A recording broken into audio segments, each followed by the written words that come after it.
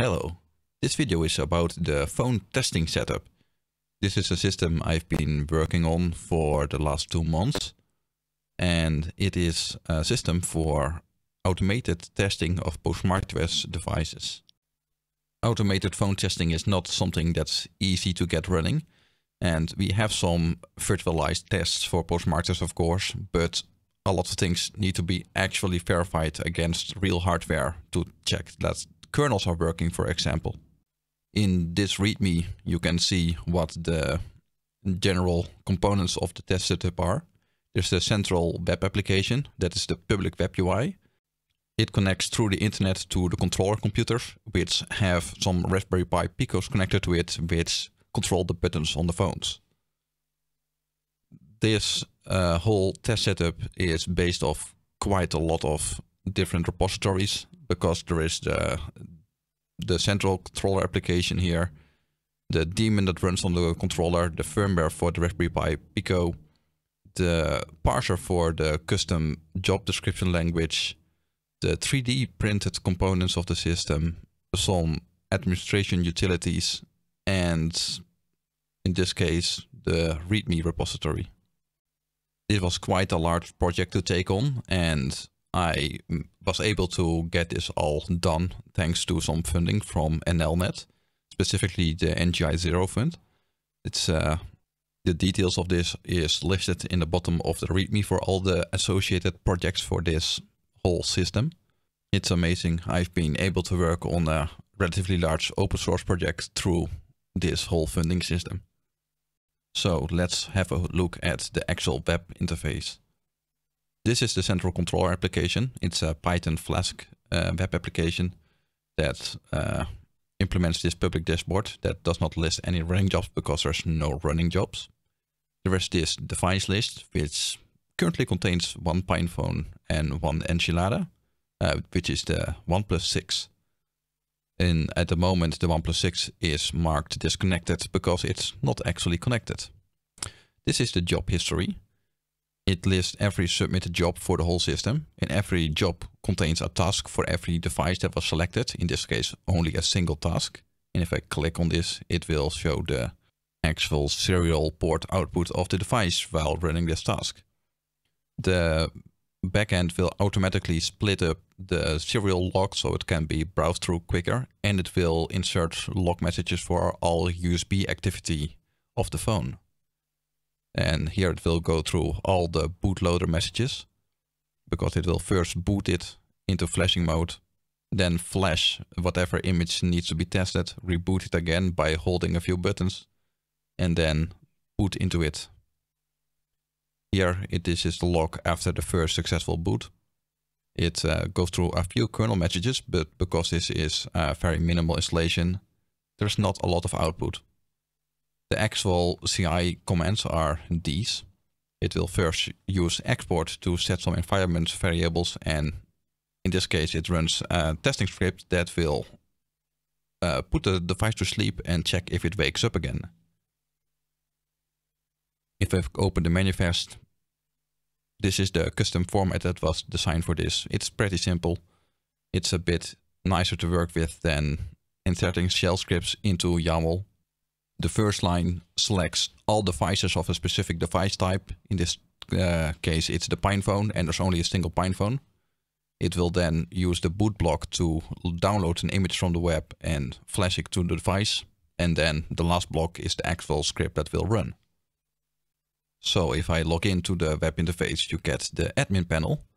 And there you can see the definitions of the, the current devices. Another important system is the variable system. And to make the system actually do something, there is the controller system. In this case, only my single controller is listed. The variables uh, define uh, global variables in this case that are available as uh, environment variables in the shell scripts and also as substitution variables for the manifests. This can be used to set some global variables like what CI platform the script is currently running in. I can also go to the device type and go to the PinePhone uh, device type and add a variable here. And this can define new variables or override uh, an existing one from the global variables. Let's add another one here, like the device tree, which can be used in maybe the manifest to select which device tree to link to the kernel. This is not used yet in production. This is also not the correct path for uh, a PinePhone device tree, but it will do for an example. Now the brownish yellow lines here are the variables. If I go to the device then, and PinePhone 1, I can add an override of this device type variable for this specific device, like the device tree, because PinePhones have multiple revisions, so this can be the 1.2 revision of the PinePhone. And now you can see that it is a green line in the device variables. And that shows that this uh, device specific variable and the yellow one is still the device type specific one. Global variables will also be listed here and those will be red. And the last component here is the actual controller list, but I cannot click here because it will show the, the private API key for my controller in production. The reason that the last test run here was three weeks ago is because the controller is broken. The reason the last test here was three weeks ago is because the controller PC I'm using in the test setup is broken. I reused a 10 year old board I had laying around, which worked fine for development. And after 14 tests, it just stopped working. So let's have a look at the hardware. This is the controller computer that is broken and this is the box that holds the phones. I have not screwed this down so I can just take it out and remove the annoying screws from it. These are nice and cheap boxes, but they are definitely not uh, quick to open up. So here are the phones in the system. And this is the two phones, the PinePhone and the OnePlus 6 and currently the OnePlus 6 is not connected due to a lack of USB ports. So if I move the camera here and focus it, you can see that this is still quite a bit messy. That's because this does not use some nice PCBs yet, but this is all prototyping on perf board and solder together things. These phones are removable by sliding them out of the base plate. And you can see the Raspberry Pi Pico on the device. And with a bit of finagling, it is possible to slide it back in. These phone holders are all 3D printed parts that are also available in the Git repository. I'm not the best 3D modeler in the world, but this uh, model works good enough for the test setup at least. It slides the phone into the base uh, plate with some dovetails and the holder has some clamps that fit around the front and back of the phone and then I use some double-sided tape to make sure that the phone cannot slide around into this clamp. And then on the back there is a plate with screw holes that fit a Raspberry Pi Pico exactly. Still needs to be a power management PCB made that will control the power to the USB port of the phone and possibly emulate a battery so I don't have to have a rack full of lithium cells. The base plate for the phone is also 3D printed and is designed to fit exactly into this off-the-shelf rack case. But the issue is the computer here. USB ports on it have died and it already did not have enough USB ports, so I ordered a replacement part. It's from the same manufacturer, uh, but it is a way newer board. I think I've had this board for almost 10 years now. It used to be a NAS in my office.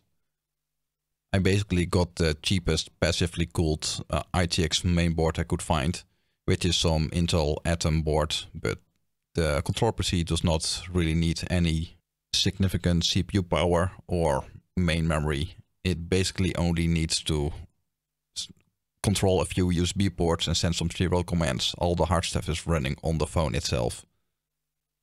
The system was designed that it should be possible to get something like a Raspberry Pi to run a whole controller off. Like the main limitation for the controller is the USB bandwidth it has. In the final design of this test rack, there will be a 16 port USB hub into the case of the phones itself, and it will just take up a single USB port on my controller computer.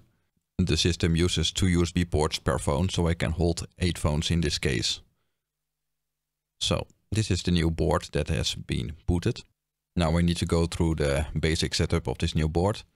There's uh, some things that need to be changed, like making it automatically boot after power loss, since my uh, ITX rack case does not have any power button on it. Also some general setup like making sure that uh, secure boot is off and that the fan control is set to not run auto fans at max speed all the time. And now it's time to reboot into the actual operating system running the controller. In this case it's Alpine Linux. The controller software does not depend on the distribution in any way, but since it's for PostmarketOS, it makes sense to run Alpine on the, the desktop hardware. Or actual server hardware in this case. Well, it should not have opened the BIOS again, it should have booted. It turns out that this board does not have support for legacy booting anymore. Can only boot from EFI and my current Alpine installation on this uh, SSD is only for legacy booting. My last hope for this is that a BIOS update will add back the legacy booting option. So that's what I did.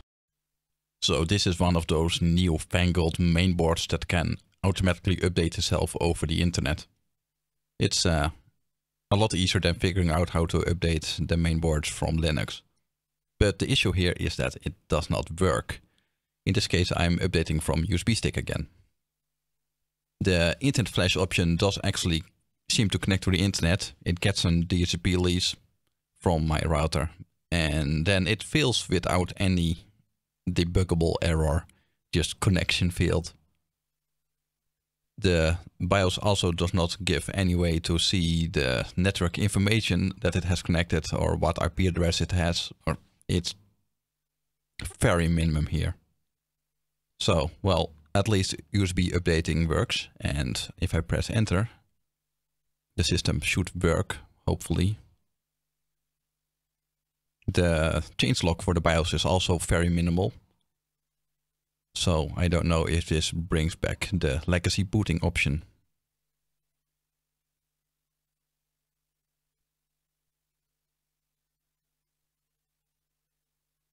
What's not pictured here is the fan spinning down and the computer resetting, which makes sense after an update. And it's still not booting. So, as you can see from the lighting change, this took quite a bit to get working. I booted from a live Alpine ISO and converted the installation from a legacy booting system to EFI booting. The system already had a boot partition and then a swap partition and then the main root FS. And I reformatted the system to have the first partition be an EFI partition, the swap partition is now a boot partition, and rootfs could stay in place.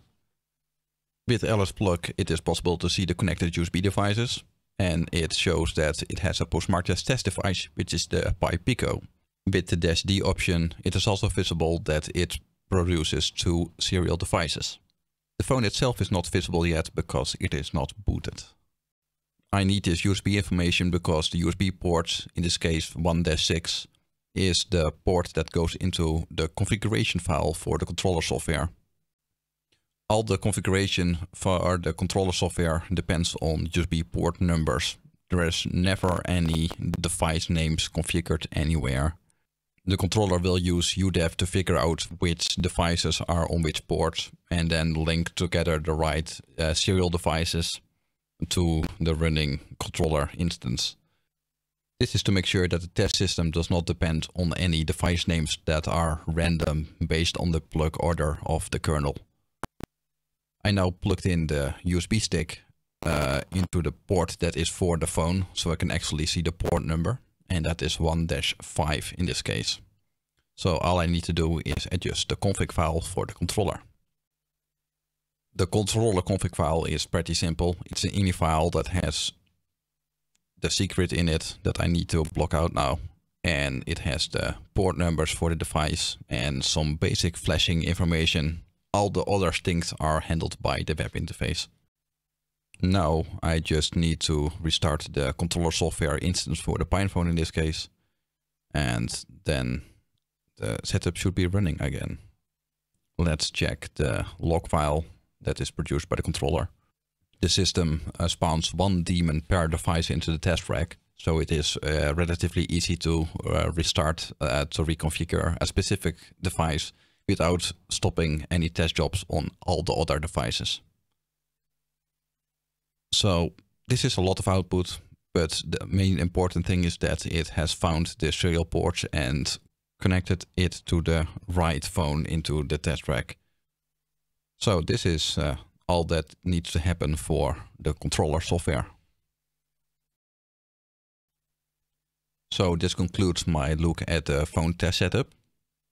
It uh, still has a few things that need to be fixed up, like having a proper PCB for power management, having USB hubs, uh, integrating this with PostmarketOS CI, and write some actual test cases for it. Hopefully other projects can also make use of uh, all this software that has been written.